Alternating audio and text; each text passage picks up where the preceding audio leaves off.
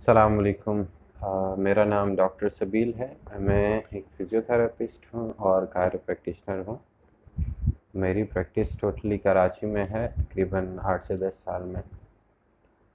और मैं आज इन डिटेल प्रोसेस आपके सामने एक्सप्लेन करूँगा regarding Australian immigration of physiotherapist Pakistan से या इंडिया से या कहीं भी किसी भी कंट्री से अगर फ़िज़ियोथेरेपिस्ट की ऑस्ट्रेलिया में इमिग्रेशन करनी है तो वो बहुत ही इजी और सिंपल स्टेप्स में है। हम लोगों को आइडिया नहीं है बहुत ज़्यादा।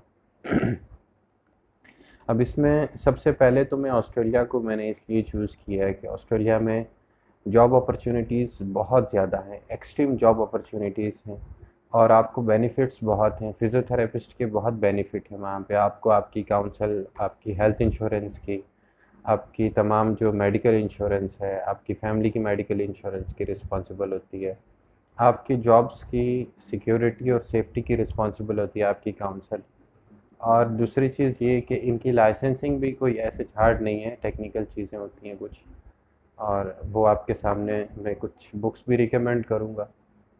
अगर आप इमिग्रेशन करना चाह रहे हैं आप खुद से कर सकते हैं आपको किसी कंसल्टेंट की ज़रूरत नहीं पड़ेगी।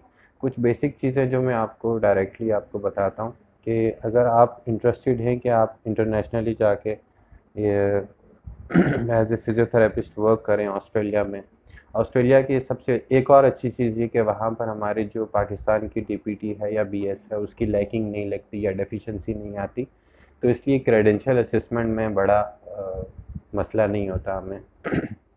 पहला स्टेप होता है क्रेडेंशियलिंग का। मींस कि हमारी क्वालिफ़िकेशन वहाँ की क्वालिफ़िकेशन के हिसाब से टोटली मैच करती है या नहीं। पहली चीज़ ये होती है। अब क्रेडेंशिंग क्रेडेंशियलिंग फ़र्स्ट स्टेप होता है। उसके लिए आपको करना ये है कि क्रेडेंशियलिंग के लिए आपको एपीसी की वेबसाइट पे जाना है। उससे भी पहले आपने अपनी यूनिवर्सिटी से सारे डॉक्यूमेंट्स लेने हैं। आप अपनी डिग्री ट्रांसक्रिप्ट सारे मैट्रिक की इंटर इंटर इंटरमीडिएट की, सब आपने अपनी ट्रांसक्रिप्ट वगैरह हाई डेफिनेशन में स्कैन करके आपने अपने पास सेव कर लेनी है। उसके बाद आपने करना ये है कि अपने सारे डॉक्यूमेंट्स मैट्रिक इंटर बोर्ड आपकी यूनिवर्सिटी की जो मार्कशीट्स होती हैं और डिग्री सर्टिफिकेट प्लस उसके साथ आपका जो सबसे इंपॉर्टेंट जो होता है ग्रेजुएशन सर्टिफिकेट जिसमें आपके डेट ऑफ़ इनरोलमेंट और डेट ऑफ़ जो पास आउट आपकी डेट होती है, चार साल या पाँच साल में वो उसकी मैंशन होती है और वो प्रॉपरली स्टैम्प्ड हो। एच से अटेस्टेशन इस वक्त ज़रूरत नहीं होती जब आप क्रेडेंशियलिंग के लिए अप्लाई कर रहे होते हैं। कनाडा में या बाकी कंट्रीज़ में स्टार्ट में ही आपको एच से क्रेडेंशियलिंग या एच से वेरिफिकेशन करवानी पड़ती है बट ऑस्ट्रेलिया में आपको ऐसा सच ज़रूरत नहीं पड़ती कि आप क्रेडेंशियलिंग के लिए आप जाएँ। अब ये सब डॉक्यूमेंट्स आपने ले लिए, अपने वीज़ा की स्कैन कॉपी अपने सीएनआईसी की स्कैन कॉपी ये सब चीज़ें अरेंज करके आप एपीसी ऑस्ट्रेलियन फिज़ियोथेरेपी काउंसिल की वेबसाइट खोलें, वहाँ पर आप साइन अप करें। आप साइन अप करने के बाद साइन अप करने के बाद आप वहाँ पर अपनी पूरी डिटेल्स जो भी नाम आपका सीएनआईसी आपका मोबाइल नंबर आपकी जो डॉक्यूमेंट्स हैं सॉफ्ट कॉपीज़ वो आप अपने डॉक्यूमेंट्स वाले सेक्शन में पुट करेंगे, सारे स्कैन कॉपीज़ अपलोड करेंगे। अपलोड करने के बाद आपने जो अपलोड करने के बाद आपने क्रेडेंशियलिंग की फ़ी पे करनी है। इनके तकरीबन पाकिस्तानी तकरीबन one lakh twenty five thousand से लेके one lakh thirty five thousand depends upon कि इनका डॉलर किस हिसाब से, क्योंकि Australian dollar cheaper than other than US और जो कैनेडियन डॉलर है, उससे सस्ता है थोड़ा। तो एटलीस्ट आपका एक लाख पैंतीस हज़ार, एक लाख चालीस हज़ार में आपकी क्रेडेंशियल असेसमेंट होगी। उसमें आपको विद इन टू वीक्स आपको वो इंटर्म सर्टिफिकेट इशू कर देंगे, जो एटलीस्ट आपका ट्वेंटी फाइव परसेंट काम होता है कि हाँ अब आप एटलीस्ट ऑस्ट्रेलिया में इन हो सकते हैं। अब जब आपने एपीसी में क्रेडेंशलिंग के लिए अप्लाई कर दिया, आपने फ़ी पे करके इंटर्म सर्टिफिकेट ले लिया, अब सेकेंड स्टेप इनका एक अब अब इन्होंने जो एक चीज़ निकाली है वो है कल्चरल सेफ्टी का कोर्स है। वो भी ऑनलाइन कराते हैं टू हंड्रेड समथिंग उसकी डॉलर्स उसकी ऑस्ट्रेलियन डॉलर्स उसकी फ़ी है। वो फ़ी आप पे करें और उसके बाद आपको वो ऑनलाइन कुछ कोर्सेज हैं। वो एक कोर्स है I think two two three weeks का। वो आपको पूरा करना होता है। वो ना भी करें तो उसके बगैर आपके पास इंटर्न सर्टिफिकेट अगर आ जाता है तो आपकी आ, ये है कि आपको एक वैलिड रीज़न मिल जाता है ऑस्ट्रेलिया में इंट्री का। दूसरे स्टेप में अब अब जब हम आ जाते हैं तो उसमें आपको सबसे पहले अपने लैंग्वेज टेस्ट ये बहुत इंपॉर्टेंट है। क्योंकि अब आप असेसमेंट के बाद आपके पास दो रास्ते हैं। या तो आप यहीं बैठे बैठे आप सेकंड स्टेप की तरफ़ चले जाएँ मींस कि आप रिटर्न एग्ज़ाम की तरफ़ चले जाएँ। थर्ड में फिर आपको क्लिनिकल एग्ज़ाम देना होता है। रिटर्न एग्ज़ाम देने के लिए आपको ऑनलाइन आप यहाँ से बैठ के ही, जो आपकी एपीसी की वेबसाइट है, जिसमें आपने पहले अपनी आईडी बनाई उसी से ही आप रिटर्न कंपोनेंट की फ़ी पे करेंगे और वो आपको स्केजुअल साल में चार मरतबा इनके स्केजुअल से रिपीट होते हैं। उन, जो भी आपको सूट करता है, उसमें से आप उसको बुक कराएँ अपनी स्लॉट को और यहीं बैठे बैठे उनकी कुछ डिमांड्स हैं कि शॉर्ट ऑफ़ इलेक्ट्रिसिटी ना हो, आपका web cam three degree angle का होना चाहिए, जहाँ से रूम की सारी चीज़ें दिखनी चाहिए। नॉइस बिल्कुल नहीं होनी चाहिए, आपकी और बिल्कुल everything neat and clear clean होनी चाहिए। आपके टेबल पर कोई पेपर नहीं होना चाहिए पेन नहीं होना चाहिए। जो भी आप जब एपीसी के रिटर्न एग्ज़ाम के लिए अप्लाई करेंगे सब कंडीशन दे देंगे। अब रिटर्न एग्ज़ाम यहीं से भी यहाँ से भी आप देख दे सकते हैं। अगर नहीं देना चाहते वहाँ जाके देना चाह रहे तो फिर आप अपने लैंग्वेज टेस्ट की तरफ़ जाएँ अपने आइल्स पीटीई या ओईटी बेस्ट ये है कि ओईटी की तैयारी करें। आइल्स में इतने अच्छी स्कोरिंग नहीं देते। आ, ना ही जो है वो इतना उसमें आपको टाइम होता है कि आप आइट्स को बहुत अच्छी, जितनी बार आप रिपीट करोगे, आप उतना ज़्यादा कन्फ्यूज़न में चले जाते हो। ठीक है? उसके लिए आपकी लिसनिंग बहुत अच्छी हो। सुबह, शाम एटलीस्ट ट्वेंटी ट्वेंटी मिनट्स आप जो है बीबीसी या कोई भी ऐसा चैनल जो नेटिव स्पीकर्स हों इंग्लिश स्पीकर वाले, वो चैनल्स आप उनसे दस मिनट की एटलीस्ट कन्वर्सेशन लाजमी सुनो। न्यूज़ बुलेटिन देख लें, वो बहुत अच्छा है। उससे आपकी लैंग्वेज स्किल्स अच्छी होंगी। एक लिसनिंग से ही आप अपने जो वोकेब है, उसको बेहतर कर सकते हैं, क्योंकि आइल्स में टोटली वोकेबलरी पे आपको ग्रिप होनी चाहिए। अगर आपकी वोकेब अच्छी है तो आप बहुत अच्छे स्कोर कर लोगे। नहीं तो सबसे बेस्ट अब ओ ऑक्यूपेशनल इंग्लिश टेस्ट ये सबसे बेस्ट है। ऑनलाइन इसकी प्रिपरेशन होती है। ओ कॉम इनकी वेबसाइट है। वहाँ से आप कोर्स बाय करके, वहीं से ही आप एग्ज़ाम की बुकिंग करा के, कराची में अलग अलग जगहों पर उनके सेंटर्स हैं। आप वहाँ पर जाकर दे सकते हैं। ओ e का फ़ायदा ये है कि ये सिर्फ़ हेल्थ प्रोफेशनल के लिए है। थोड़ा सा एक्सपेंसिव है। Sixty seventy five seventy thousand तक इसकी, इसके जो एक्सपेंसेस हैं, वो हो जाते हैं।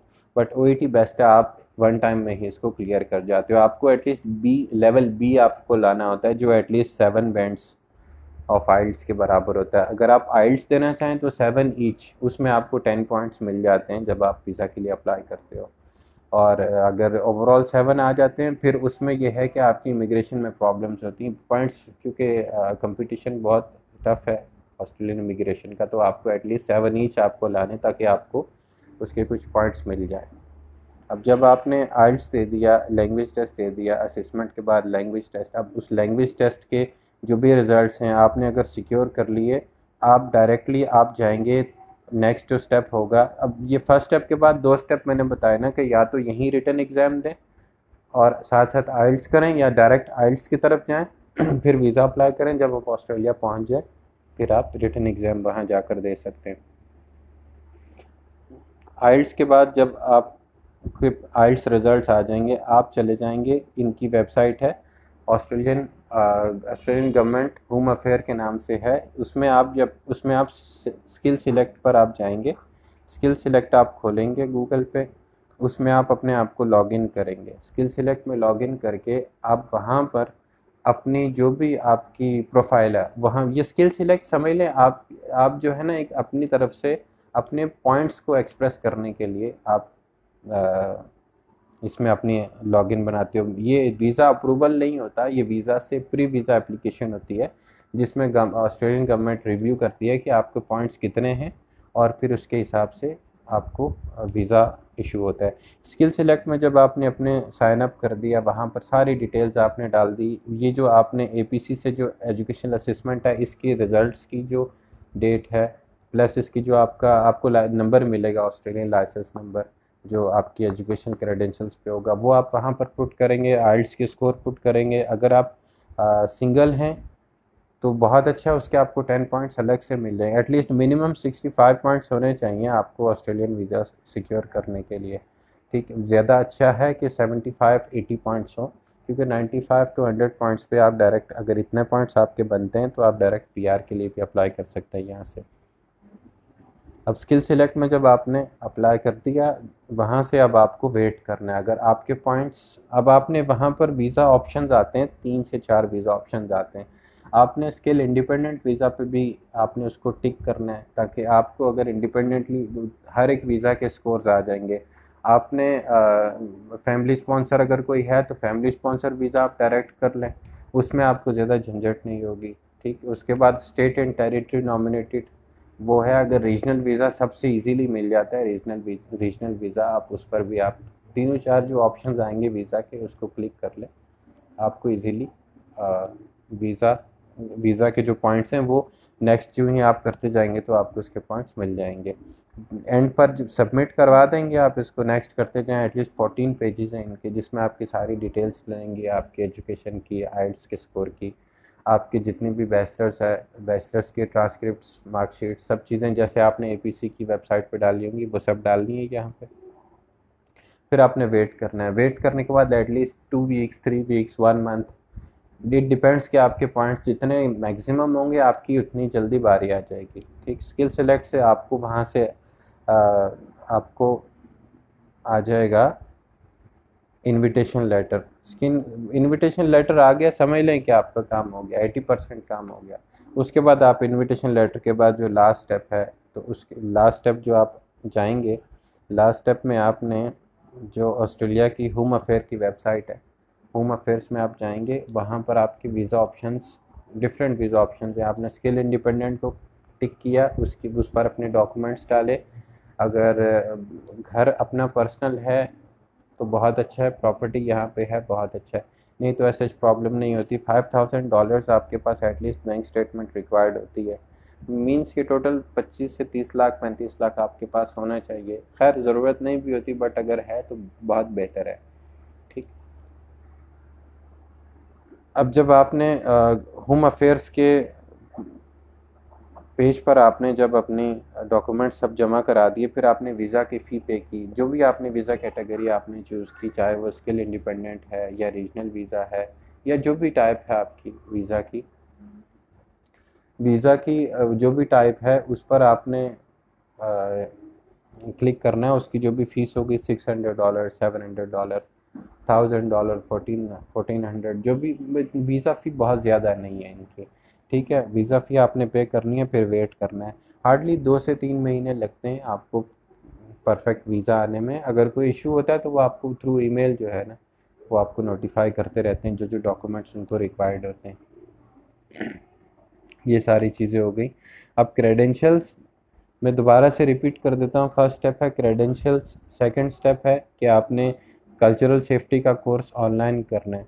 कल्चरल सेफ्टी के बाद आपने आपने आइल्स की भी तैयारी करनी है और साथ साथ आपने अपने वीज़ा की जो एप्लीकेशन है E O I expression of interest हम इसको कहते हैं, वो आपने जमा कराना है स्किल सिलेक्ट की वेबसाइट पे।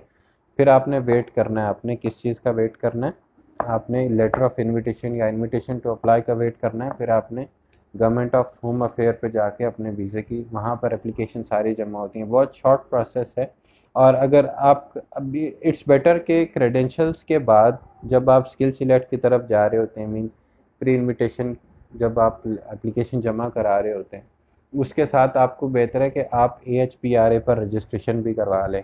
Australian health professional regulatory agency जो है, इस पर आप अपनी लिमिटेड रजिस्ट्रेशन करवा लें। उसकी भी टू हंड्रेड थर्टी डॉलर्स उसकी फ़ी है। जब आपके पास credential assessment mean educational assessment का लेटर आ जाता है plus A H P R A का लेटर आ जाता है, ये दो जब लेटर्स आपके पास आ जाते हैं, आप डायरेक्टली यहाँ से भी बैठ के अप्लाई कर सकते हैं स्पॉन्सर्स के लिए। जैसे कुछ कंपनीज़ से ऑस्ट्रेलिया में वीवर हेल्थ केयर या हेल्थ केयर ऑस्ट्रेलिया के नाम से वो स्पॉन्सर भी करते हैं। अगर आपके पास, आप लिमिटेड रजिस्टर्ड फिजियो हैं, क्योंकि आपने सब चीज़ें कर ली, आपने रिटर्न कंपोनेंट भी दे दिया यहाँ बैठ के आप वहाँ चले भी गए। जब तक आप रजिस्ट्रेशन ए के साथ नहीं कराएँगे आप वर्क पर, आप वहाँ पर काम करने के एलिजिबल नहीं होंगे। इसलिए इंटर्म सर्टिफिकेट फिर आपने ए की रजिस्ट्रेशन करवानी है।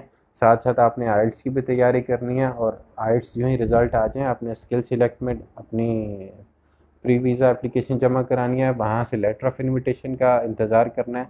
फिर आपने ऑस्ट्रेलियन गवर्नमेंट के होम अफेयर पे जाना है, वहाँ पर आपने अपने वीज़ा डायरेक्टली जमा करा देना है, बट जब आपके पास लेटर ऑफ़ इनविटेशन आ जाएगा तब। उससे पहले आप यहाँ पर अप्लाई नहीं कर सकते। फिर सेकंड कुछ लोगों के जहन में ये आता है कि हम विज़िट वीज़ा पे चले जाते हैं, सब चीज़ें हम वहाँ जाके कर लेते हैं। विज़िट वीज़ा ऑस्ट्रेलिया की, क्योंकि पॉलिसी बहुत सख्त है तो बेहतर है कि ये रिस्क ना लिया जाए, क्योंकि ये ना ही कन्वर्ट करते हैं। अगर थ्री मंथ्स का इनका विज़िट वीज़ा है तो वीज़ा पर स्ट्रिक्टली लिखा होता है नॉट अलाउड टू वर्क और इसलिए आप वहाँ पर कहीं पे भी अगर आप कोई भी स्टेप लेने की कोशिश करेंगे तो हाँ एग्ज़ाम देने के लिए आप जा सकते हैं। एग्ज़ाम देने के लिए आप जाएँ ए इसका शॉर्टकट पे ये भी है कि आप विज़िट वीज़ा पे जाएँ बट उससे पहले आप अपनी एजुकेशनल असेसमेंट करवा लें। रिटर्न कंपोनेंट अगर देना चाहें, दे दें। यहाँ से बैठे बैठे दे दें, ज़्यादा बेहतर है। और A H P R A की रजिस्ट्रेशन ये तीन चीज़ें करा कर आप विज़िट पर जाइए, वहाँ जॉब्स के लिए अप्लाई करें। जो भी कंपनीज़ हैं, वो आपको स्पॉन्सर कर लेंगी। Easily three two four months में आपकी इमिग्रेशन पक्की हो जाएगी। अगर आपको किसी भी प्रोसेस में कोई भी हेल्प चाहिए, कोई भी असिस्टेंस चाहिए वीज़ा की इमिग्रेशन के हवाले से तो आप मुझसे डायरेक्टली फेसबुक पे या आ, मेरा नंबर भी इस वेबसाइट पे है फेसबुक पेज पे है सॉरी तो आप मुझसे डायरेक्टली व्हाट्सएप पे या कॉल पे आप मुझसे पूछ सकते हैं। अब नेक्स्ट मेरी जो आ, वीडियो होगी वो इंशाल्लाह कैनेडियन फिजियोथेरेपिस्ट इमिग्रेशन पे होगी। और वो नेक्स्ट वेनसडे और सैटरडे को मैं कोशिश करूँगा कि अब आहिस्ता आहिस्ता ये जो इमिग्रेशन के जो इश्यूज़ हैं क्योंकि फिजियोज़ की यहाँ पर आहिस्ता आहिस्ता डिमांड ख़त्म होती जा रही है क्योंकि बल्कि में इतने थेरेपिस्ट निकल रहे हैं कि जो आ, स्पेस है वो कम होता जा रहा है। ऑस्ट्रेलिया में इतना इतना काम है वहाँ तो फिजियोथेरेपिस्ट की शॉर्टेज लेबर शॉर्टेज है बहुत ज़्यादा तो इसलिए कोशिश करें वन टाइम इन्वेस्टमेंट है आप अपने आप को तैयार करें। फ्रेश ग्रेजुएट्स तो खैर हाँ एक चीज़ और जो मैं एक्सप्लेन करना चाहूँगा कि फ्रेश ग्रेजुएट्स अगर आप हैं तो बेहतर है कि एटलीस्ट टू ईयर्स कहीं पर आप जॉब करें। टू ईयर्स के बाद आप अप्लाई करें। एक्सपीरियंस हो तो बेहतर है, क्योंकि एक्सपीरियंस के भी पॉइंट्स मिलते हैं। अदरवाइज़ अगर आप विदाउट एक्सपीरियंस के भी अप्लाई करना चाहें अप्लाई कर सकते हैं।